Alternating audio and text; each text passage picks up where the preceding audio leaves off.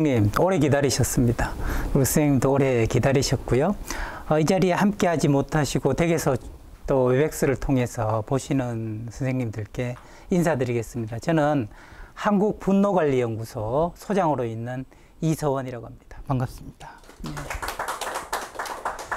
아, 저희 아들이 얼마 전에 고등학교 1학년인데 학년 대표가 됐습니다. 아, 그래서 저는 집안의 영광으로 생각하고 저는 고등학교 때 반장 한 번도 못 했었기 때문에 야, 아들 때에서 이렇게 학년 대표가 되다니 감개무량하고 대학교 들어간 것 이상으로 기분이 좋았어요.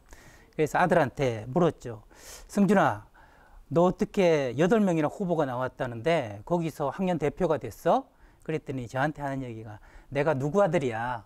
그러더라고요. 야, 그날 밤에 한 2시까지 잠이 안 와요.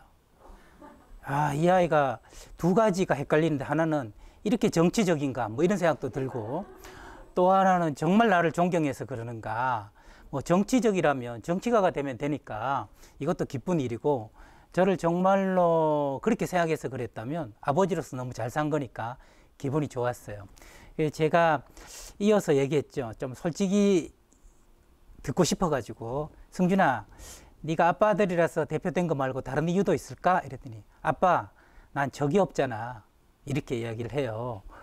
아, 그 얘기는 굉장히 뭉클한 이야기였습니다. 나는 적이 없잖아. 편이 없어. 누구도 날 싫어하지 않아.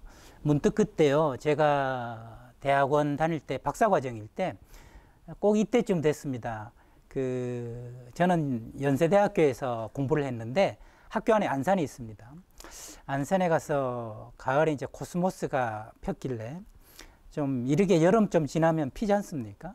그한 두세 송이 꺾어서 유리병, 투명한 유리병 요만한 거 있었습니다. 거기다가 몇 송이 담아서 가져와서 우리 지도 교수님한테 교수님 그랬더니 칸막이 돼 있는데 계시다가 어, 왜 그래요?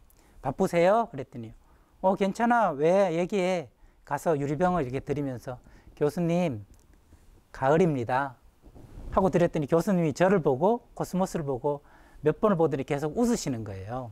웃으시면서 어, 앉아라 그래요.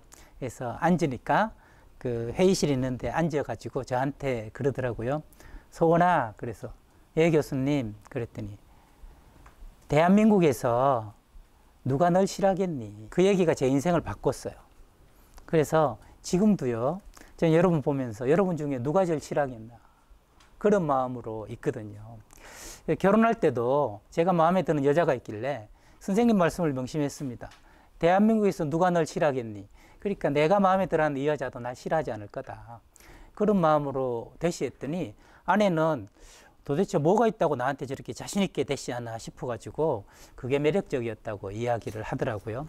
그래서 아, 제가 마흔에 서른다섯 살인 아내를 만나가지고 어, 아들을 낳고 지금 저는 56이 되고 아들은 16살이 됐는데 아들이 난 적이 없잖아 하는 이야기를 들으니까 문득 그 박사과정 1학기 때 우리 선생님이 소원아 대한민국에서 널 싫어할 사람이 누가 있겠니 하는 이야기가 불현듯 떠오르면서 야 나도 싫어하는 사람이 없는데 얘도 현재까지 적이 없구나 그런 생각이 들었어요. 우리 살다 보면 대한민국에서 알게 모르게 내가 아는 적도 있고 모르는 적도 많잖아요. 퇴임하고 나서도 참 손봐주고 싶은 사람도 있고 인사 오면 반갑기도 한데 아 저게 진짜 마음으로 인사 오는지 궁금하기도 하고 그래서 우리 마음이 편안하지 않은 이유는 제 아들과 다른 마음 누군가 적이 있다. 어쩌면 내가 모르게 한 것 때문에 나한테 반감을 가지고 있는 사람이 있을 수 있다. 이런 생각하면 좀 편하지 않은 것 같아요. 반대로 그 사람들이 생각했을 때도 어, 우리 그 정의사님은 퇴직하고 나서 나한테 뭔가 있나 봐. 그렇게 살갑게 굴더니 연락 한 번 없잖아. 하고 좀 서먹서먹하게 얘기일 수도 있겠습니다. 그래서 저는 저희 아들을 얼마 전에 그 이야기를 하면서 없게 산다는 게 참 중요하구나 그런 생각을 했고요. 그러려면 돌이켜 저를 생각하면 어, 아무도 날 싫어하지 않는다. 그 마음을 가질 필요가 있는데 사실 행동은 개떡같이 하면서 아무도 날 싫어하지 않는다. 이러면은 소위 양아치 마인드 아니겠습니까? 그래서 우리가 행동도 잘하고 말도 잘하면서 아무도 날 싫어하지 않는다 하는 마음을 가지면 참 좋을 것 같아요. 라디오 방송 이야기 하다가 마친 것 같습니다. 그래서 어, 목요일 날 9시에 어, 진행을 하는데 어제는 이런 그 상담이 왔어요. 어떤 상담이 왔냐면 우리 남편은 제가 막 화를 낼때 너무 상냥하게 말해서 저를 미치게 만듭니다. 이러는 거예요.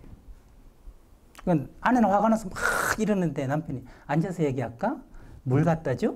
많이 흥분했나 보네. 이렇게 얘기를 하니까 어, 이게 미치겠다는 거예요. 자기만 그냥 양반이 되고 화내는 나는 뭐, 뭐가 되냐 싶은 생각이 들어가지고 그 다음에 막 바쁘게 설치면 자기 혼자 천천히 걸으면서 천천히 가 뭐 이렇게 이야기를 한다는 거예요. 얼핏 보면 자기가 문제 있고 남편은 문제 없어 보이는데 항상 그런 식이 되다 보니까 너무 속이 상해서 내가 이상한가 우리 남편이 이상한가 그거를 상담을 하니까 청하니까 이걸 어떻게 좀 해결해 달라고 했어요. 그래서 제가 그 사연을 듣자마자 바로 이렇게 얘기했습니다. 해법이 간단합니다. 남편 데리고 가까운 바닷가로 가세요. 바닷가로 가면 바닷가에 가면 부표라는 게 있습니다. 노란색 부표가 파도가 일렁일 때 동동동동 떠 있는 부표가 있는데 그 부표를 바라보면 파도가 셀 때는 부표가 위로 올라갑니다. 올라가고 파도가 내려갈 때는 부표도 아래로 내려가는 거죠. 부표가 만약에 파도가 오는데도 아래에 그대로 있다면 그것은 고장난 부표입니다. 그래서 그 부표는 바꿔야 되는 거 아니겠습니까? 그래서 남편에게 그 얘기를 하세요. 저 부표하고 바다하고 사이좋게 잘 지내는 거는 네. 계속해요? 네. 어떻게 계속해요? 이렇게?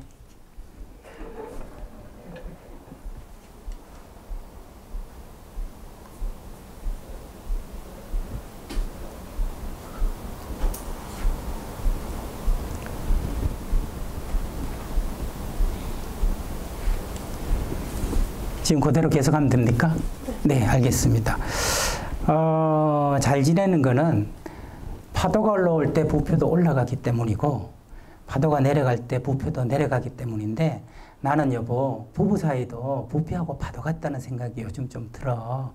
그래서 내가 막 흥분할 때는 당신도 조금 올라와 주고 내려가 내려갈 때는 당신도 좀 내려가지고 내가 빨리 갈 때는 당신도 조금 빨리 가는 척 해주고 그러면 호흡이 맞아서 저렇게 부패하고 파도처럼 잘 어울리지 않을까? 이렇게 한번 이야기를 해주고 그 다음에 중요한 거 남편 눈을 바라보면서 절대 얘기하지 마라. 감정이 올라온다. 그렇기 때문에 부표만 바라보면서 무심한 척 그렇게 얘기하면 IQ가 두 자리가 아닌 남편이라면 왜 아내가 이먼 데까지 와서 이런 얘기를 할까? 그동안 힘들었나 보다. 하고 자기를 좀 돌아보게 되지 않겠냐 이렇게 이야기를 말씀을 드렸거든요. 어, 저는 오늘 코로나 시대 분노 관리라는 주제를 가지고 이야기를 하러 나왔는데요. 제가 드리려는 말씀을 좀 압축적으로 얘기하자면 코로나라고 다 화를 내는 건 아닌다. 그 말씀을 드리고 싶은 거죠. 똑같은 상황이라도 화를 내는 사람이 있고 내지 않는 사람이 있다. 마치 친구 관계가 있어도 적을 만드는 사람이 있는가 하면 적을 만들지 않는 사람도 있고 그래서 과연 그 차이는 무엇일까? 화를 내는 사람과 내지 않는 사람, 잘 내지 않고 잘 지내는 사람이 있다면 분노 관리를 코로나 시대 때 도대체 어떻게 하는 걸까 하는 것을 나누기 위해서 어, 이 자리에 왔습니다. 어, 이제 요즘 회사의 후배들 얘기를 들어보니까 회사에서 제일 유행하는 말이 탈꼰대라는 말이에요. 탈꼰대.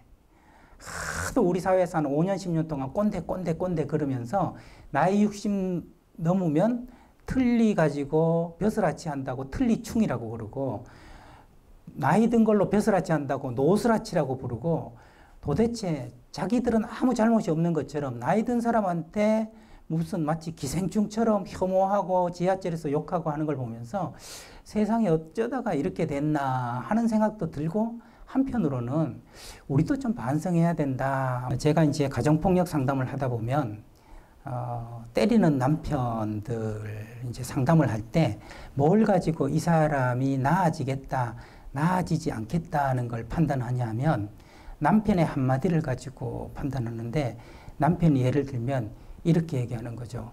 안방으로 들어와. 안방으로 들어와. 이렇게 얘기하면 저는 상담을 포기합니다. 그 남편은 고칠 수 없다고 하는 거죠.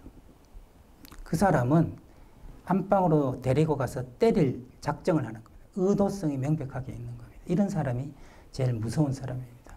그런데 아 그만해 하면서 딱 밀치는 남자는 우발적이에요. 우발적이라서 욱하는 그 감정 관리만 좀 고치면 폭력이 많이 없어질 수 있는데 애들한테 너희들 방으로 들어가. 당신 안방으로 들어가. 딱 이러는 순간 아, 이 남편은 무서운 사람이다.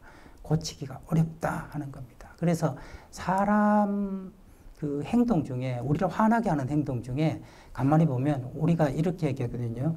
뭐 늦었어요. 늦었으면 야, 너 왜 늦었어? 이러면 자식 욕 좀 보라고 늦었다 임마. 이런 사람하고는 친구 안 해야 됩니다. 일부러 늦은 거거든요.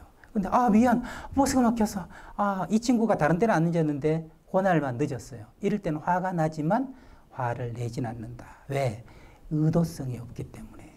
그래서 제가 아들 키우면서 과연 우리 아들이 의도적으로 나를 화나게 한 적이 있는가를 봤더니 단 한 번도 없더라는 거예요. 그냥 장난감 가지고 싶고 놀고 싶고 밖에 나가고 싶고 게임하고 싶어서 그런 거지 아빠를 곤란하게 하려고 아빠를 정말 힘들게 하려고 썽을 나게 한 적은 한 번도 없더라는 거죠. 그래서 화는 정말 참으로 많이 났습니다만 한 번도 화를 내지 않을 수는 있었다. 그래서 다행스럽게 제가 가까운 사람한테 화를 내면 부당한 이유로 화를 내면 한국 분노관리연구소장 자격이 없으니 그만둬야 되겠다. 그런데 아직까지는 어, 자격을 저 스스로 볼 때 유지를 하고 있으니까 제일 먼저 알려드리고 싶은 것이 상대가 의도성이 없이 내 마음에 안 드는 어떤 일은 화는 나지만 화를 내지는 않는다. 이걸 알게 되면 화내는 것의 절반이 사라집니다. 절반이 사라집니다. 그래서 아빠 음료수를 갖다 주려다가 그만 걸려서 책상 다리에 걸려서 넘어져서 음료수가 바닥에 쏟아졌을 때 우리 선생님 화를 내야 될까요? 말아야 될까요? 내지 말아야죠. 그죠? 근데 아이가 음료수를 가져오다가 나를 보면서 이렇게 확 뻔칠 때는 어떻게 해야 돼요? 그때는 조져야죠. 그, 그때는 가만히 두면 안 되죠. 그거는 제대로 화를 내줘야 되는데 아이는 그러지 않고 오다가 넘어져서 쏟아질 경우에는 화를 내지 않는다. 그렇게 생각하면 얼마나 많은 부모들이 아이로 봐서는 부당하고 억울한 화를 내는 겁니까? 그죠? 얼마나 많은 부부들이 서로에게 있어서 그래서 이런 얘기를 자주 하잖아요. 난 그런 뜻이 아니었다고. 내가 그러렸던 게 아니야. 의도를 계속 이야기를 한다는 거죠. 그래서 분노 관리를 할 때 첫 번째로 중요한 것, 제가 50점이라고 생각하는 것은 이 화를 낼까 말까 하는 것. 제가 한국 분노관리연구소 10년 만에 발견한 카드입니다. 10년 동안 연구한 게 요거 한 장이에요. 장입니다. 화를 낼까 말까. 위대한 카드입니다. 저는 0.1초 카드라고 부르는데, 화가 났을 때는요, 화가 났을 때는 감정만 작동하기 때문에 이성이 말을 안 듣습니다. 화는 느낌표예요. 그런데 낼까 말까 하는 건 의문문, 질문이거든요. 이거는 이성이 작동하는 거예요. 우리가 이성이 작동할 땐 질문을 할 때 있거든요. 그래서 낼까 말까를 뭘로 판단한다? 의도성으로 판단하면 낼 화가 절반으로 줄어들게 되더라. 그래서 벌써 우리는 50%를 끝냈습니다. 우리가 앞, 이전에 일어났던 상황도 어, 끝냈죠. 그러니까 뭐 이런 거 있잖아요. 이거 막 이렇게 집에서 보시는데 화가 나시죠. 이게 음질이 왜 이래? 화면 왜 이래 불안정해? 그러면 그럴 때 이렇게 얘기할 수 있잖아요. 아, 때려쳐!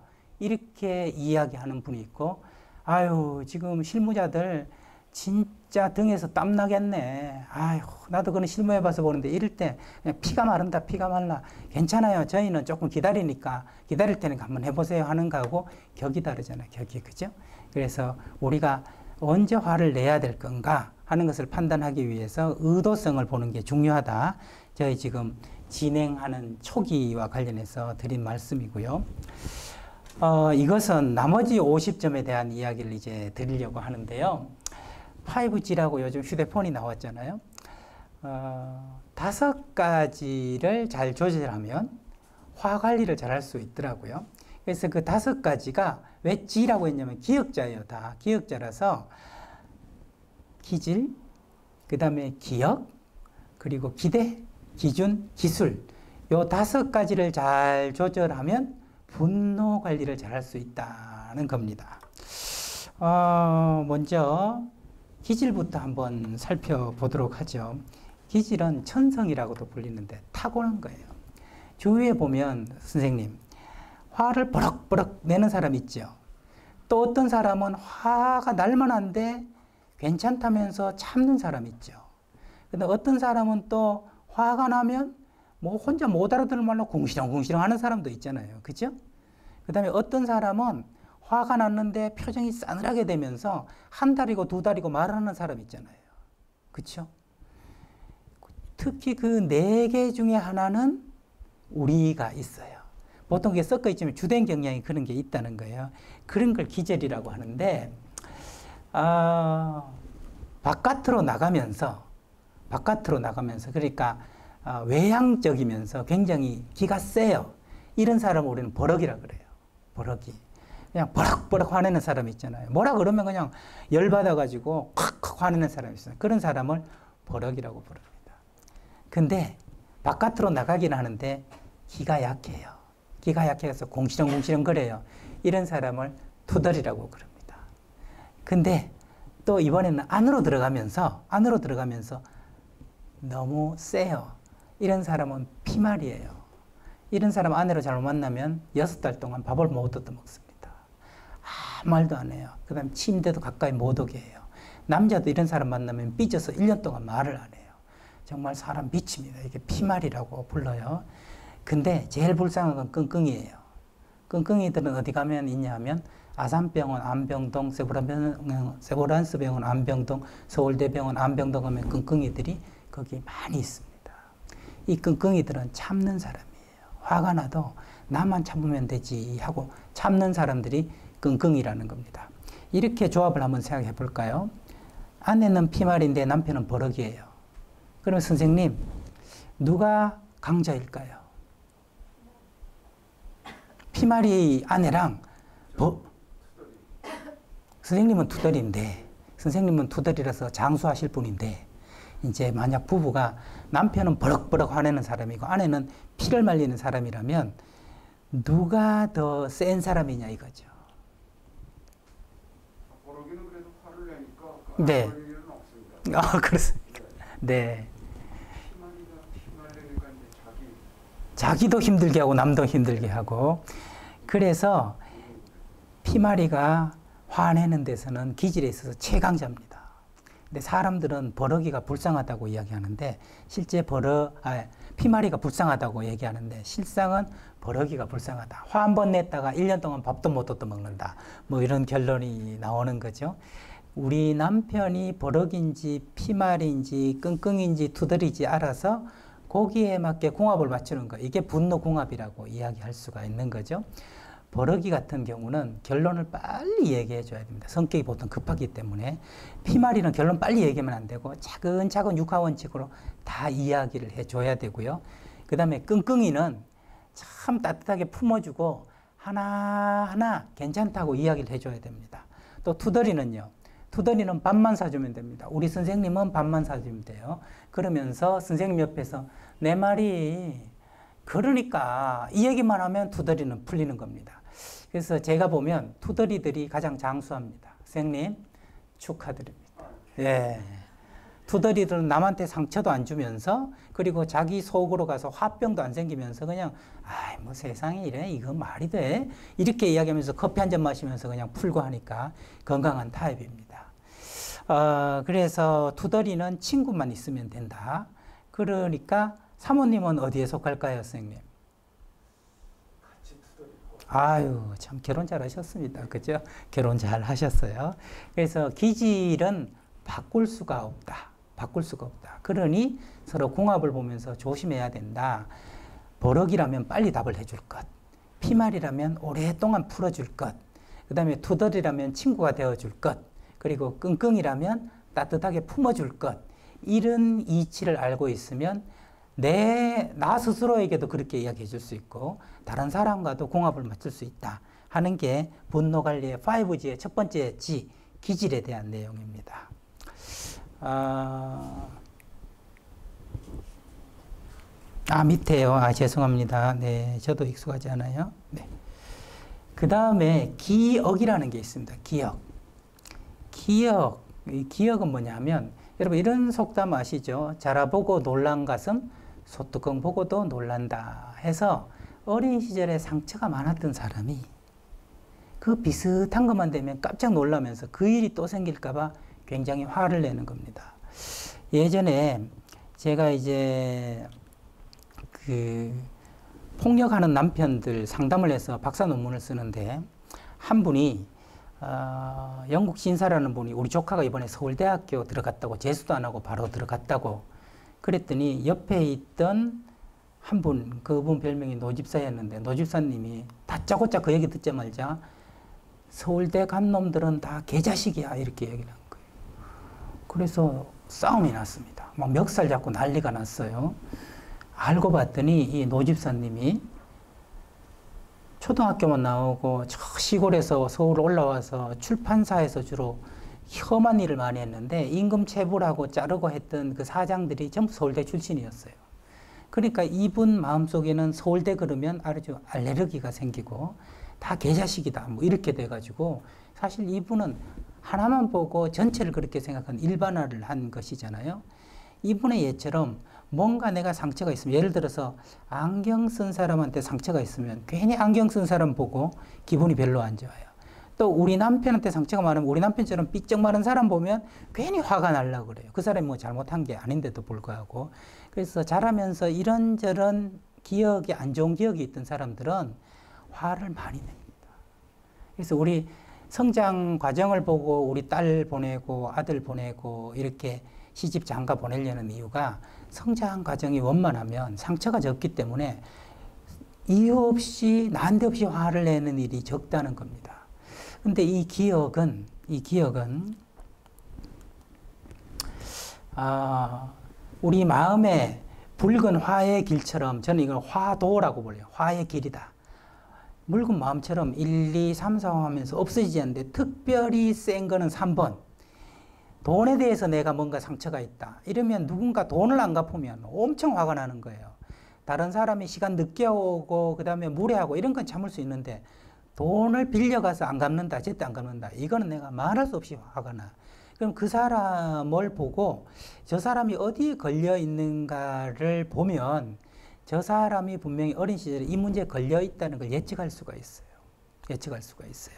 어떤 사람은 예의를 중요하게 여겨요. 어떤 사람은 재미를 중요하게 여겨. 어떤 사람은 뭐 남녀 관계를 중요하게 여겨. 이런 것들이 사람마다 다 있다는 거예요. 누구에게나 3번이 있다. 그래서 이 분노 궁합이라는 것은 나의 3번은 무엇인가? 그리고 아내의 3번은 무엇인가? 그래서 그것은 가급적이면 건드리지 않는 것. 예를 들어서 부부 사이에 이제 아, 이혼으로 가기 쉬운 부부들의 막말 가운데 너가 엄마를 보면 니를 알 수 있어 이런 말이 있잖아요. 너그 집에서 뭘 배워왔어? 그게 3번일 경우가 우리 부부들은 참 많습니다. 참 당신 아버지 그렇게 바람둥이더니 당신 오죽하겠어? 뭐 이런 이야기 들으면 아니 내 얘기만 안 되는데 우리 아버지 돌아가신 우리 아버지까지 얘기하니까 내가 돌아버린다 이거예요. 그래서 서로가 굉장히 아픈 3번에 대해서는 서로 조심하는 게 필요하고 나 또한 어떤 사람은 이게 30개 있을 수도 있고 어떤 사람은 10개 있을 수도 있잖아요. 그것을 아는 것이 굉장히 중요하다. 그리고 그때 내가 경험한 것들에 대해서는 해석을 붙여요. 해석을 붙이는데 저 며칠 전에 수녀원에 강의를 갔습니다. 그 수녀 원장 광구장님이 굉장히 인자한 모습으로 우리 선생님 앉아 계신 자리에 앉아서 어, 저를 이렇게 바라보고 계세요. 그래서 제가 아, 광구장 수녀님한테 여쭤봤죠. 수녀님 인생이 뭐라고 생각하세요? 이렇게 여쭤봤어요. 그랬더니 우리 수녀님이 그러시더라고. 저는요, 교수님, 인생은 가고자 하는 곳을 가는 것. 그게 인생이라고 생각합니다. 그러셔요. 되게 정말 초등학교 1학년도 할 수 있는 쉬운 말인데 되게 마음에 와닿더라고요. 가고자 하는 곳을 가는 것이 인생이다. 물론 사람마다 가고자 하는 것은 다르겠죠. 제가 이렇게 보탰습니다. 수녀님, 제가 생각하는 인생은 가고자 하는 곳을 갈 때 경험하는 이런저런 경험을 주섬주섬 줍는 게 그게 인생 아닐까요? 그랬더니 수녀님 웃으시면서 아유 교수님은 또 과정을 말씀해 주시네요. 그래요. 우리가 살다가 생기는 경험을 주섬주섬 줍는 것 그게 인생인 것 같아요. 우리 다 그런 거 아닐까요? 그런데 사람마다 경험을 줍지만 그 경험에 하는 해석은 다 달라요. 그래서 형제들이 똑같이 엄마 아버지 밑에서 자랐는데 엄마 아버지에 대한 평가도 다르고 그때 있었던 일에 대한 해석이 제각각 다르다는 거죠. 그래서 화해에서 조금 자유로워지고 편안해지려면 내가 그때 경험한 것에 대한 해석을 새롭게 재해석해 보는 게 필요하죠. 7살 때 한 해석이 70살에 같을 수는 없거든요. 근데 보통 7살 때 한 해석을 70살까지 계속 가지는 경우가 많고 그것 때문에 화를 내는 경우가 많기 때문에 그것을 한번 재해석해 보는 게 필요하다. 이게 기억에 대한 이야기입니다. 정말 우리 노 집사님이 서울대 나온 사람은 참 좋은 사람도 많다 하는 것으로 재해석하게 되는 것. 그것이 노 집사님이 집단 상담을 통해서 나아지는 것이었는데요. 제가 그때 같이 노 집사님한테 제일 애썼던 것은 별칭이 노 집사였거든요. 그분한테 결국 이 한마디를 같이 나눈 거죠. 서울대 나온 사람 중에 참 괜찮은 사람들 이야기를 주변에서도 하고 본인도 하면서 그래 서울대 나온 사람이 계자식이로 하는 거는 내가 출판업계에 있을 때 사장 세명한테 겪었던 거지 모든 서울대생한테 이걸 적용하면 안 된다 하는 걸 마침내 깨닫는데 노 집사님이 63년이 걸리더라고요. 63년. 63년이 놀랍게도. 사람이 나이 들면 자유, 자동적으로 지혜롭게 된다? 저는 상담을 하면서 그렇지 않다 하는 걸 느끼게 돼요. 뭔가 인생의 원리를 하나라도 제대로 해석할 수 있게 되는 것.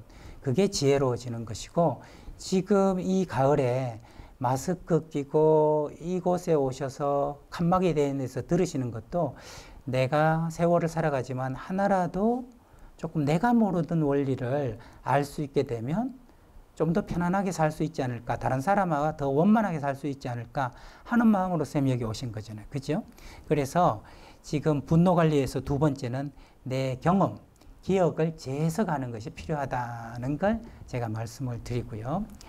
어, 세 번째로는 기대라는 겁니다. 기대라는 건데 오늘 여기 오셔서 제일 강의에 만족하실 분은 이 강의에 아무 기대를 안 하신 분들이에요.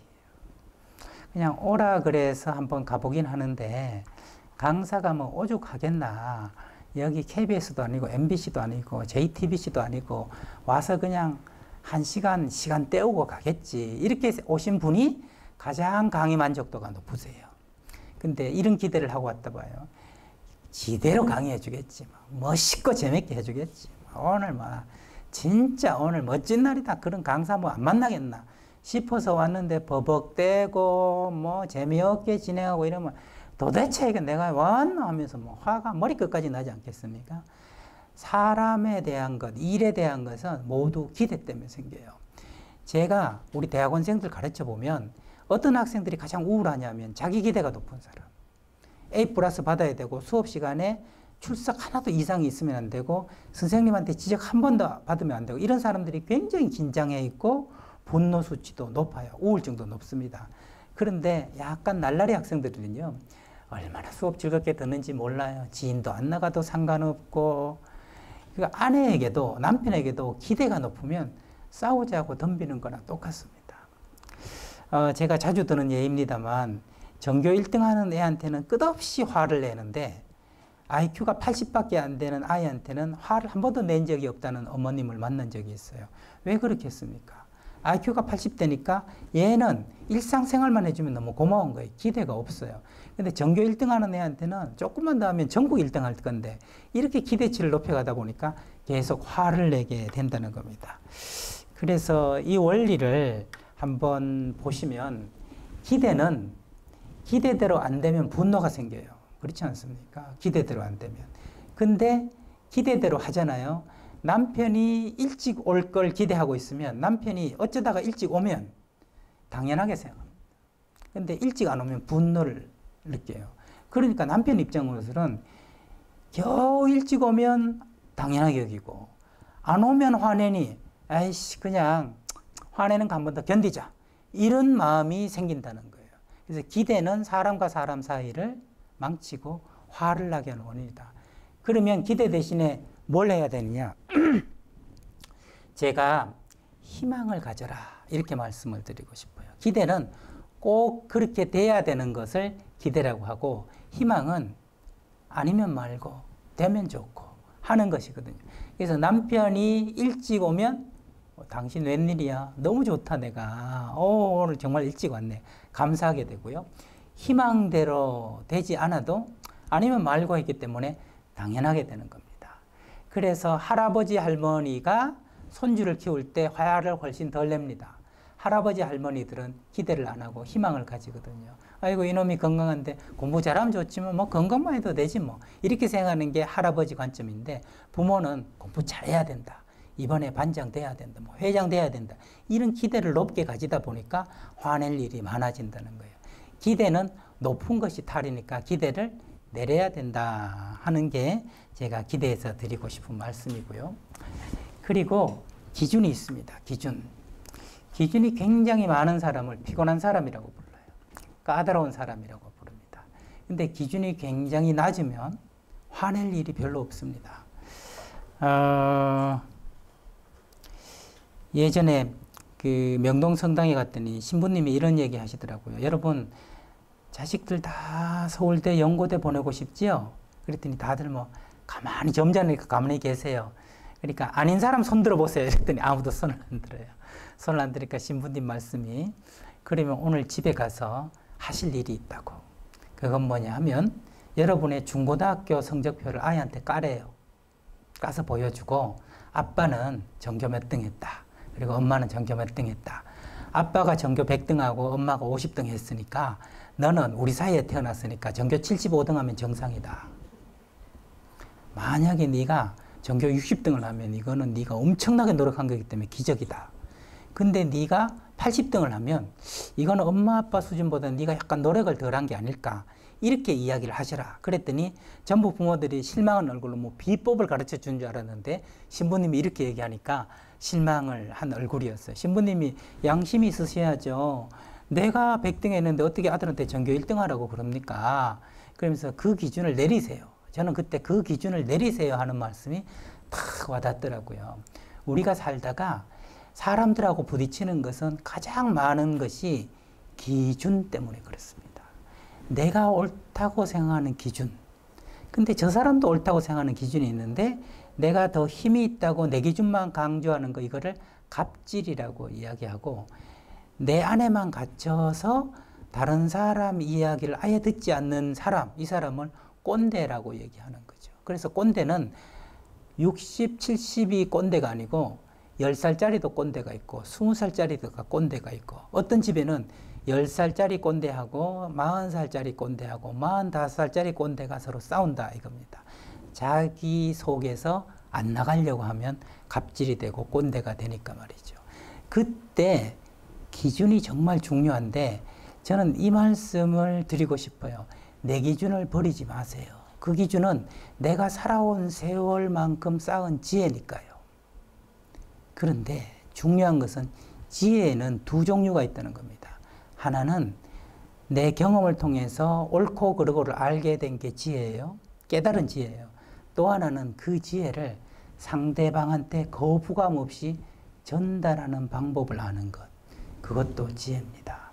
근데 많은 사람들은 첫 번째 지혜는 가지고 있지만 어떻게 아내한테 전할지, 어떻게 손주한테 전할지, 어떻게 친구한테 전할지 이 방법을 모르는 경우가 많아요. 그러다 보니까 화로서 전하려고 그래요.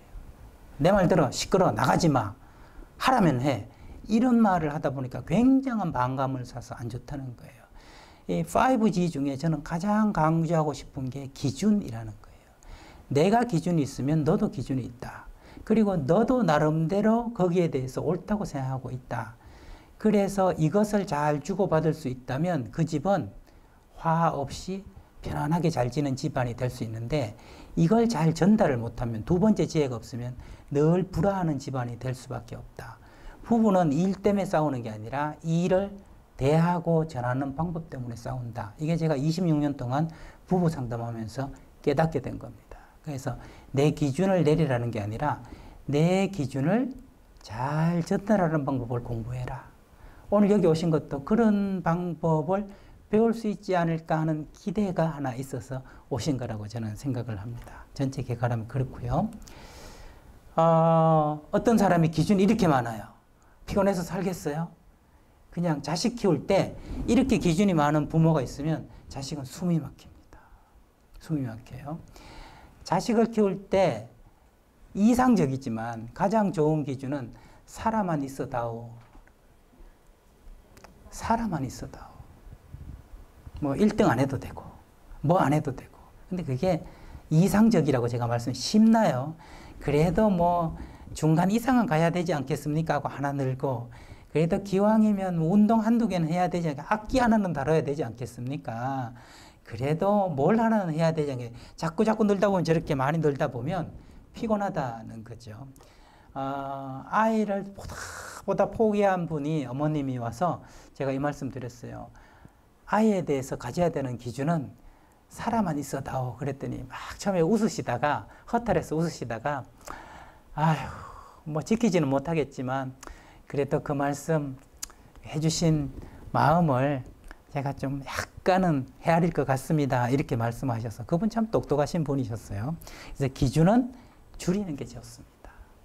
가지고 있다 그래도 개수를 줄이고 있는 것을 잘 전하는 것이 중요하다는 것이고요.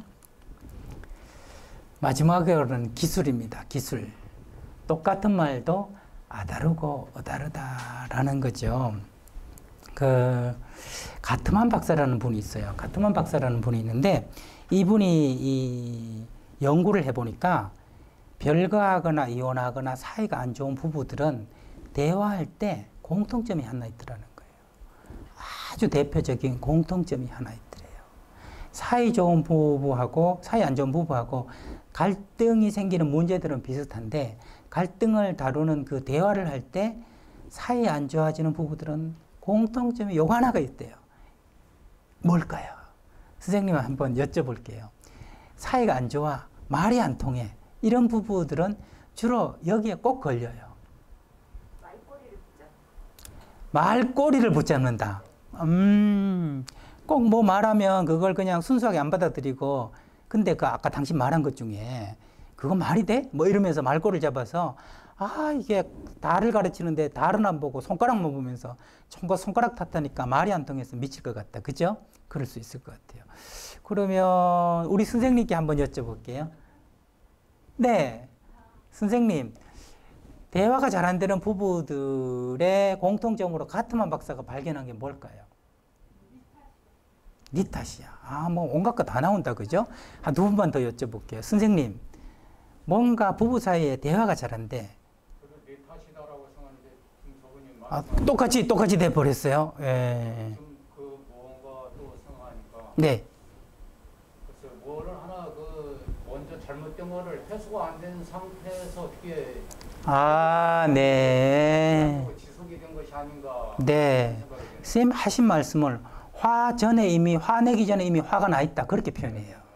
내가 지금 스트레스를 받고 뭔가 상태가 안 좋은 상태에서 뭔가 하나 벌어지니까 화를 버럭 내는 거 그죠? 마음이 편할 때 대화하는 게 아니라 불편할 때 대화하는 거.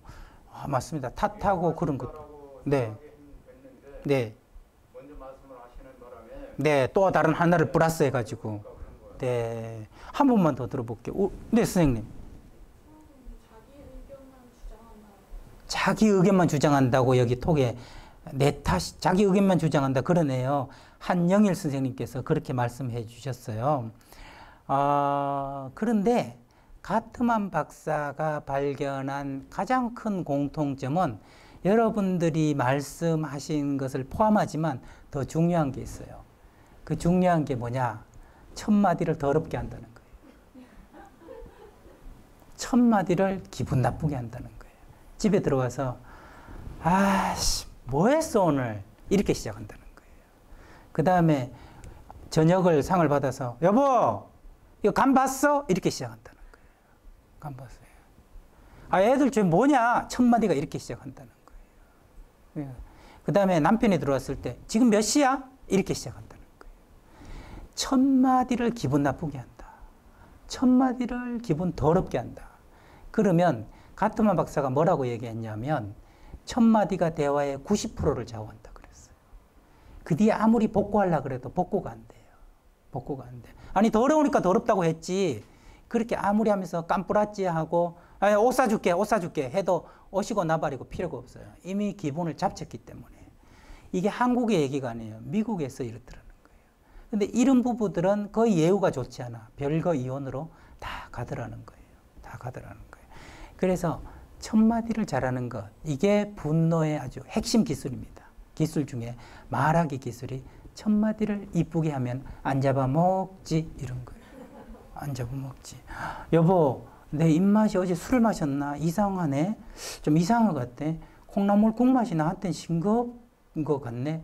이렇게 첫 마디를 예쁘게 하면 아 여보 내가 소금 조금 더 줄까 간장 더 줄까 이렇게 나가는데 아씨 진짜 이게 하, 콩나물 한두 번 끓이냐 지금 이렇게 더럽게 시작하면 아내가 그냥 처먹어 이렇게 마음이 되면서 욕이 나온다니까요. 그래서 너무 심하죠. 저거 하도 이게 막장 부부들도 많이 만나고 상담해서 보니까 거친 말들이 막 거침없이 나오네요. 중요한 건 첫 마디를 잘 해야 된다. 그래서 저같이 강사가 왔을 때도 처음에 우리 선생님이 1층으로 내려오셔가지고 저보고 올라오라고 하지 않고 기다리세요. 내려올게요. 그러더니 바로 내려오셔서 오시느라고 수고하셨습니다. 하고 첫 마디를 잘했기 때문에 제가 기분이 좋아서 지금도 이렇게 하는 거잖아요. 예를 들면 올라오세요. 네, 이리로 찾아오시면 돼요. 네, 왜요? 찾기 어려우세요? 이런데 처음 와보세요. 이렇게 얘기했으면 제가 돌아갔을지도 몰라요. 첫 마디가 안 좋기 때문에. 그래서 분노를 다스리 잘 표현하는 기술은 첫 마디를 이쁘게 해라. 이걸 제가 정말 강조해서 말씀을 드리고 싶고요. 그 다음에는요, 화가 났을 때 말하는 기술을 사람들이 배운 적이 없는데, 요거는 이제 기술편에다가 하니까 두 번째 기술을 알려드릴게요. 친구가 계속 돈을 빌려가면 잘 안 줘요, 선생님. 주기는 하는데 항상 늦어요. 그럼 걔한테 짜증이 나. 이런 걸 친구라고. 다음에 또 돈을 빌려 달라 그러면 빌려주고 싶어요? 안 빌려주고 싶어요? 이번에도 또 늦게 줄 거니까. 그래서 마음을 먹었어요. 언제 얘 영미라고 합시다. 우리 그 클리는 영미 영미 하니까 그냥 특정 영미를 가르치는 거예요. 영미 씨를 만났을 때 우리 선생님이 한마디 해주고 싶어요. 그럼 영미 씨한테 뭐라고 얘기를 할래요? 네가 재난지 해주면 내가 정말 즐거울 것 같은데. 아, 선생님은 뭔가 배운 분이에요. 뭔가 대화법을 많이 배우신 분 같아요. 그래서, 야, 너, 너 계속 이러면 나 친구 안 한다? 이렇게 얘기하지 말라는 거죠. 친구가 돈을 제때 주면 무엇이 좋은지를 생각하는 거예요. 내가 원하는 걸 생각해요. 야, 나는 영미야, 너랑 정말 잘 지내고 싶거든?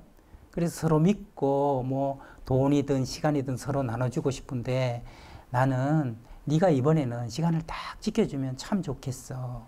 이렇게 이야기를 하면 그 사람도 뜨끔하면서 내가 고마워지는데 너 지금 한두 번이니 그러고도 너 양심이 있니? 또 돈 빌려달라 그래? 너도 진짜 야 정말 참 그러는 거 아니야. 이렇게 얘기를 해버리면 잘못한 사람이 방구 낀 놈이 썩낸다고 내가 뭐 얼마나 돈을 빌려서 그래. 뭐 두세 번 빌려서 사정이 있어서 늦었어. 그거 가지고 너는 고등학교 그렇게 뭐 평생 친구 하자면서 이런 식으로 얘기하니? 어쭈 어쭈 누가 누구한테 지금 화를 내는가 이러면서 싸움이 번진다는 거죠. 그래서 이런 것을 우리는 선생님 말씀하신 방법을 I 메시지로 전하는 방법이다. 나로 시작해서 화를 내는 게 참 화를 잘 내는 기술이다 하는 거예요. 그러면 화를 잘 낼 뿐 아니라 잘 받는 기술도 있을 거 아니에요. 잘 받는 기술도. 잘 받는 기술도 있을 텐데, 잘 받는 기술은 뭐냐 하면, 상대가 보통 말을 할 때, 선생님처럼 이렇게 말하는 사람이 많아요. 아니면은 그냥 네가 네가 이러면서 말하는 사람이 많을까요? 화났을 때. 네가 네가 이런 사람이 많잖아요. 그랬을 때는 내가 원하는 것을 생각하는 것처럼 저 사람이 뭘 모른다고 생각하는 게 제일 좋습니다. 뭘 몰라요? 저 사람은 자기가 원하는 걸 표현하는 방법을 아직 모르는구나. 이렇게 생각하는 게 제일 좋습니다. 내 건강에 제일 좋아요. 뭐 저런 게 다 있어. 라고 생각하던 것을, 아, 저 사람은 자기가 원하는 걸 나한테 표현하는 법을 모르는구나. 응? 자기가 나한테 부탁할 줄 모르는 사람이구나. 저 사람이 나이만 먹었지 아직 무지하구나. 그렇게 생각을 하는 거예요. 성경 말씀 중에 이런 말이 있잖아요. 예수님께서 돌아가시면서 주여 저들을 용서하소서. 저들은 자기가 지금 무엇을 하는지 무슨 죄를 짓는지 모르나이다 하고 용서하소서 하고 얘기했잖아요. 그게 단지 성경 말씀이 아니라 우리도 받아들이는 거죠. 받아들여서 아, 저 사람이 자기가 지금 무슨 말을 하는지를 모른다. 아직 방법을 모른다. 불쌍한 사람이다. 이렇게 받아들여야죠. 제가 이제 서강대 있으면서 그 신부님들, 수사님들하고 수업을 하는데 신부님 한 분이 이런 이야기를 하시더라고요. 상대가 나한테 못되게 굴거나 못된 말을 하면 그 사람의 죄를 내 죄로 가져오지 말래요. 나도 똑같이 하면 똑같은 사람이 된다는 거예요. 그래서 예수님께서 주여 저들을 용서하소서. 저들은 무엇을 잘못하는지 모르나이다 하는 마음으로 그 사람 죄는 그 사람 죄로 두고 내 죄로 가져오지 말고 기도하라고 말씀을 하시더라고요. 저는 그 말씀이 참 와닿았어요. 그러면서 이렇게 말씀하시더라고요. 주님, 저 사람 너무 안 됐습니다. 저렇게 말하다가 지옥 가면 너무 불쌍하잖아요. 주님, 저 사람 죽기 전에 고쳐주게 도와주세요. 이렇게 기도하라고 하시더라고요. 저는 그 말씀을 듣고 정말 한 3, 40대인 이 신부님이 와, 정말 지혜로우시구나. 그 다음에 내 마음이 고요해지는 걸 느꼈어요. 그 뒤로 저한테 이렇게 못된 말을 하거나 악의에 찬 말을 하면 저 속으로 이래요. 아 주님, 너무 불쌍한 분이에요. 저분 저러다가 지옥 가면 너무 불쌍하잖아요. 도와주세요. 이렇게 하면 제가요, 심리적 우위를 좀 가지게 되는 것 같아요. 그 사람을 가져 욕하지 않고 그 사람의 죄를 내 죄로 가져오지 않고 저 사람은 모를 뿐이다. 방법을 모른다. 이렇게 생각을 하는 거죠. 그러면서 생각해 봐요. 저 사람이 원하는 게 뭘까? 바라는 게 뭘까? 그러면 보입니다. 화를 내는 사람이 아까 화를 내는 너는 왜 맨날 늦니? 이건 그 사람이 원하는 게 뭐예요? 제 시간에 와서 우리 즐겁게 시간 보내기를 원하는데 저 사람이 말할 줄 모르니까 저렇게 말을 하는구나 하고 내가 받아들일 수 있으면 그 사람보다 더 큰 사람이 되는 거죠. 프랑스 속담에 비열한 사람에게 화를 내면 나도 비열한 사람이 된다라는 말이 있는데 우리가 똑같이 그 인격이 될 필요는 없잖아요. 그게 화를 내는 사람의 화를 받는 가장 성숙한 방법이다. 이 말씀을 드리고 싶어요. 그래서 이 의자 세 개가 있잖아요. 의자 세 개가 있으면 어, 나의 입장 그리고 그 사람이 말하는 입장 그런데 이 사람이 말할 줄을 몰라서 중간 의자처럼 너무 거칠게 표현한다. 이 세 가지를 다 볼 수 있으면 음 그래 저 사람 표현할 줄 몰라서 저래 저 중간 의자 때문에 그런 거야. 근데 하려는 저 사람의 말은 초록색 의자야 나쁘지 않아 하고 바라볼 수 있는 게 우리한테 필요하지 않을까 하는 걸 여러분하고 나누고 싶어서 이 말씀을 드렸고요. 어, 이제는 제가 이제 한 시간 정도 강의를 해서 진도는 다 나갔는데 사전에 우리 센터에서 어, 뭘 이번 강의를 통해서 뭐 궁금한 게 없냐 하고 여쭤봤더니 이런 질문들을 해주셨어요. 그래서 어, 바라는 게 아내와 의견 충돌로 화부터 내고 대화를 한다. 그리고 마스크 벗고 쓰는 문제로 영업장에서 실갱이를 한다. 또 자식이 말을 안 듣는다. 손녀가 말을 안 듣고 뺀질거린다. 싫다는 일을 자꾸 지인이 부탁할 때 너무너무 화가 난다. 그래요. 제가 붉은색으로 다 이거를 표시했어요. 표시했는데 이게 다 무엇과 관련되어 있냐면 오늘 제가 한 내용 중에 화를 잘 내는 기술하고 관련되어 있어요. 화를 잘 내는 기술하고 관련되어 있습니다. 아내와 의견 충돌로 화부터 내고 대화한다 하는 거는요. 화를 잘 내는 기술을 모른다. 지혜로 말하면 무엇이 화나는지는 아는데 이것을 어떻게 잘 표현할까 하는 법을 잘 모른다는 거예요. 마스크 탈착 문제 영업장에서 실갱이를 해요. 예를 들어 편의점에서 마스크를 안 쓰고 이제 그냥 막 그 전기 배관하던 스- 분이 올라와가지고 아 여기 여기 여기 바카스 팔아? 뭐 이렇게 얘기해요. 그러면 손님 마스크 좀 써주세요. 그러면 아씨 백, 백신 다 맞았어. 백신 다 맞았어. 이러면 그래도요 다른 손님들 오시니까 좀 써주세요. 아 딱딱하게 구네 씨, 막 빨리 그 바카스 하나 주시 이러면 아, 손님 말씀을 좀 아이씨 진짜 짜증 확 나는 거야 확 씨, 쑤셔버려 손님 뭐라고 하셨어요? 이러면서 싸움이 된다는 거예요. 그랬을 때 내가 뭘 잘못했나?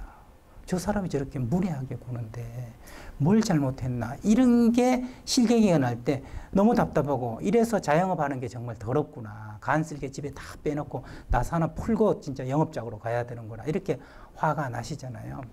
그랬을 때 아까 제가 말씀드린 것처럼 그분이 그렇게 바카스 하나 주세요 할 때, 아, 이분이 주여, 이분이 표현할 줄을 모릅니다.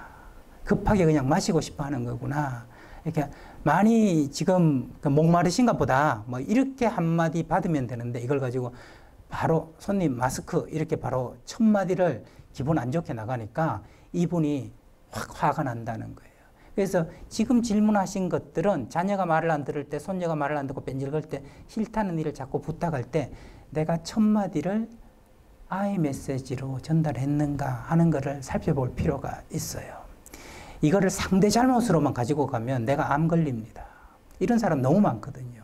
그렇기 때문에 그 사람을 대했을 때 내가 말을 어떻게 잘 전달할 것인가 하는 생각으로 좀 들어가셔야 된다. 그래서 이 질문들은 전체 큰 논리로 보면 내가 기분 나쁘지 않게 화를 전하는 거. 뭘 전해야 된다고, 어떻게 전해야 된다고요? 손님, 여기가 편의점이다 보니까 이런저런 분들이 많아서요. 그분들이 또 마스크에 대해서도 이야기 많이 하시고 그래서 손님 편하게 둘러 보시면서 뭐 필요한 거 사실 때 마스크 쓰시면 뒤에 오는 손님도 그렇고 저도 그렇고 더 편안할 것 같은데요. 이렇게 당신이 마스크를 썼을 때 좋은 결과, 원하는 상태로 이야기를 하면 그분이 아무리 못 배운 무식한 분이라도 거기에 대해서는 화를 낼 수 없어요. 근데 당장 문제를 딱 잡아서 마스크 쓰세요. 이렇게 얘기하세요. 내가 한두 살도 아니고 지금 누구 시키는 거야? 이러면서 맞붙게 된다는 거죠. 내가 틀린 말 했나가 아니고 내가 좋게 말했나를 봐야 돼요. 맞는 말, 틀린 말보다 중요한 건 내가 좋게 말했는가를 봐야 되니까 이런 경우에는 손주한테 자녀가 말을 안 들을 때, 야, 너 이딴 식으로 할래? 어? 지금 나이 서른 먹었다고 아버지 무시하는 거야. 이렇게 첫 말을 안 좋게 나가면 아이도 반발하게 된다는 거죠. 그래서 맞는 말, 틀린 말이 아니라 좋은 말로 나가는 것. 이걸 머릿속에 이렇게 간직하시면 이 질문하신 분들이 조금 도움받지 않을까 하는 생각으로 제가 붉은색으로 표시를 했고요. 그 다음에는 선한 친구의 무심한 은행 있잖아요. 너는 초등학교 때부터 계속 눈 쪽이 정말 못생겼다. 이렇게 이야기하는 거 있잖아요. 아무 악의도 없이 눈이 못생겼다고 동창회 다 있는 데서 그런 이야기를 해요. 근데 남편이 찡찡거려요. 아, 뭐, 이렇고 저렇고 진짜 남자는 여자를 귀찮게 해. 막 너무 귀찮게 하고 찡찡거려. 또 남편이 친정 흉을 봐요. 넌 허리가 길다며 친구가 모임에서 나를 흉을 봐요. 퇴직 후에 자문일을 하는데 섭섭하게 해요. 섭섭하게 해요. 이것은 다 무엇에 해당하는 거냐 하면, 무엇에 해당하는 거냐 하면, 그 사람들이 뭘 몰라서 하는 해당합니다. 그런 마음은 아닌데, 전하는 방법을 몰라요. 아까하고 답이 똑같아. 아까 내가 전하는 법을 모르는 거고, 이번에는 이 사람들이 전하는 법을 몰라요. 전하는 법을 몰라. 그래서 이것에 대해서는 저 사람이 왜 징징댈까? 왜 징징댈까? 왜 저렇게 할까 해서 의도를 읽어봐 주는 게 도움이 됩니다. 저 사람들의 결과를 보는 게 아니라 이 사람들의 의도가 무엇일까? 그래서 의도를 얘기해 주면 허리가 길다고 친구가 날 흉을 봐요. 그러면 야 민씨가 그러면 왜? 왜 허리 긴 놈아? 이러면은 네가 농담 반 진담 반으로 지금 허리 길다고 자꾸 얘기하니까 사실 나는 나하고 잘 지내고 싶고 넌 좀 더 격이 없이 옛날부터 친한 친구라고 그러는 것 같은데 난 솔직히 그게 그다지 좀 내 약점 잡히는 것 같아서 좀 그렇거든. 그래서 그냥 우리 좋은 말 하면서 잘 지내면 좋잖아. 나는 너하고 잘 지내고 싶거든. 이렇게 얘기하는 거하고 너는 새끼야 다리가 짧잖아 새끼야 이렇게 이야기를 해가지고 대바트 치는 거하고는 굉장히 다르다는 거죠. 그러니까 이 친구 의도, 네 의도를 읽어주는 거예요. 네가 친하게 지내자고 이러는 건 알겠는데 그 말이 나한테 좀 걸린다라고 이야기를 해주는 게 고수의 화를 받는 법이다 하는 걸 말씀을 드리고 싶고요. 그 다음에 소상공인 죽이는 정부의 무능한 대처. 아프가니스탄 탈레반 행태를 볼 때, 공공장소에서 개인주의를 마주칠 때, 뉴스에서 나오는 세상 돌아가는 거 볼 때, 고등학생이 노인 담배 셔틀 뉴스 볼 때, 이럴 때 여러분 화나죠. 화나죠. 이런 것을 무슨 화라고 하냐면 정당한 화라 그래요. 의분, 공분이라 그래요. 아프가니스탄 탈레반 행태를 볼 때, 하, 저것도 인간이냐, 여자를 사람 취급 안 하고. 근데 놀랍게 19세기, 18세기 유럽에서 유럽은 다 탈레반이었어요. 여자한테 정치권 안 줬어요. 여자 사람으로 여기지 않았어요. 이게 사회가 발전하면서 지금 이 거꾸로 역행됐잖아요. 아프가니스탄은. 근데 우리도 같이 달리다가 보니까 앞서 먼저 유럽에서는 프랑스 대혁명으로 시민사회가 만들어졌잖아요. 민주주의가 만들어지고 굉장히 오랜 역사가 있습니다. 근데 우리는 45년 해방되고 나서 급속도로 빠르게 그 민주주의를 이뤄나가고 있다는 거죠. 어떻게 생각하냐면 진도 차이라고 생각하는 게 가장 안전합니다. 어떤 데는 진도를 잘 나가다가 옛날 걸로 들어가게 됐어요. 그래서 우리가 저는 이런 비유를 들고 싶어요. 토끼하고 다람쥐하고 열심히 옛날에 출발해서 저기까지 가 있어요. 그러니까 토끼가 유럽이고 다람쥐가 미국이에요. 그래서 민주주의가 이만큼 가 있어요. 근데 1945년에 이제 잘 날리는 치타 한 마리가 잠에서 깼어요. 그래서 막 정신이 따라가는데 굉장히 누구보다 빠른 속도로 가고 있는데 지금 현 상태에서 저쪽에 가 있는 토끼하고 다람쥐를 봤더니 너무 갭이 커요. 그래서 뭐라고 하냐면 한국 한데 참 민주주의가 뭔지도 몰라. 민도가 너무 낮아. 이렇게 해서 화를 내기보다는 이게 진도 차이다. 절대적인 시간은 필요하지 않냐. 옛날보다 뭔가가 조금씩 나아지고 있다. 이렇게 바라보는 관점하고 한숨을 쉬면서 요새 말세야 전부 망해야 돼. 뭐 이렇게 바라보는 거하고는 조금 다를 것 같다는 생각이 들어요. 가끔은 정말 분노하고 거리로 나가서 이 부당함을 외쳐야 될 때도 있지만 매번 만날 때마다 이건 이렇고 이건 죽여야 되고 이건 뭐 이렇고 남자들 만나면 정치 얘기 빼면 할 얘기가 없잖아요. 여자들 만나면 가정 얘기 빼면 할 얘기가 없다고 그러잖아요. 그렇게 하면서 계속 분노만 한다면 사실은 사회는 천천히 바뀌는데 나는 분노하다가 내가 독약을 먹고 사회가 죽기를 바라는 거랑 비슷하잖아요. 그러니까 내가 독약을 먹지 말자. 저는 그런 말씀을 드리고 싶은데 되게 마음이 아프지만 아 저기는 아프가니스탄은 지금 진도를 좀 나가려다가 뒤로 갔구나. 안타깝다. 저기가 진도가 잘 나가길 빈다. 하는 마음으로 바라보는 게 필요하고요. 그리고 요즘은 분노공화국이라고 이야기를 하는데 옛날에는 헝그리 공화국 요즘은 앵그리 공화국이라고 그러거든요. 먹고 사는 문제가 급할 때는 앵그리가 좀 수면 아래로 내려갔는데 이게 좀 해결되니까 전부 다 화나는 걸로 됐단 말이에요. 여기에 대해서 바라보는 시점이 이제 우리나라는 말세다. 이렇게 바라볼 게 아니라 과도기다. 이제 분노는 참으면 자기가 병이 되고 저렇게 터뜨리면 다른 사람이 병이 나는데 이 과정을 거쳐야 다른 사람도 다치지 않고 자기도 다치지 않는 표현하는 세상으로 가기 위해서 이 과정이 지금 과도기로 필요하다. 이렇게 바라보는 시선이 내가 화를 덜 내고 사회적 분노에 대해서 보다 미래지향적으로 바라볼 수 있는 게 아닐까 저는 그런 생각이 좀 들어요. 그 다음에 고등학생이 노인 담배 셔틀 뉴스 볼 때화안 나는 사람이 있어요? 어, 그 평화의 상 그 꽃 해가지고 머리 때리면서 그 비디오 돼서 전 국민이 공분하고 청와대에도 올라왔잖아요. 그럴 때 저같이 이제 상담하는 사람은 어떻게 저렇게 저 네 명 아이는 싸가지 없는 애가 됐을까를 생각해요.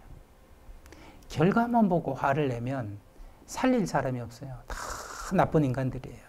근데 가만히 생각해 보세요. 가장 피해자 불쌍한 분은 노란 옷을 입고 아이들한테 모멸감을 당한 우리 어르신이 제일 불쌍하지만 이 아이들은 괴물일까? 그래서 그 아이들을 저는 상담 현장에서 만나서 살펴보면 거의 집에서 무너져 있는 경우, 망가져 있는 경우가 99%입니다. 스스로 자기에게 물건처럼 취급한 후에 그때 남는 거는 관능적인 쾌락만 추구하게 되거든 사람이 힘들 때 그걸로 다른 사람들도 물건으로 보게 되는 거예요. 뭐 어른이든 아이든 동물이든 얼마 전에 뉴스 봤더니 개 목을 끌고 오토바이에 끌고 막 가는 그게 우리를 깜짝 놀라게 했잖아요. 인형은 오토바이에 이렇게 앞에 놓고 뒤에는 개 목줄 달아서 개를 끌고 가는 그 학대하는 그러면 그런 뉴스를 볼 때 저와 함께 이런 생각 해 보시면 어떨까요? 저런 인간 말종이라고 생각하기 전에 어떻게 저 사람은 저렇게 괴물이 됐을까? 어떻게 저렇게 잔인한 사람이 됐을까? 저 사람은 도대체 성장 과정을 어떻게 거치게 된 걸까 하고 의문 하나를 던지게 되면 왠지 내 마음에 분노가 조금의 이해하려는 마음, 연민의 마음으로 좀 들어가게 된다는 겁니다. 그래서 나이가 든다는 것은 저에게는 나이가 든다는 것은 점점 어린아이가 되어 가는 것이다. 저는 그런 생각이 들어요.